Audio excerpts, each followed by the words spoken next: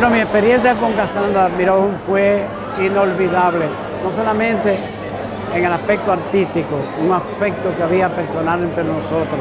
Yo visitaba su casa con mucha frecuencia, me juntaba con ella. En el Festival de la Voz ella me hacía de jurado junto con nosotros, nos íbamos a almorzar juntos. Pero aparte de eso, como digo, no solamente en el aspecto artístico, acompañándola en sus canciones, haciéndole arreglos, sino también una amistad muy profunda que había entre nosotros.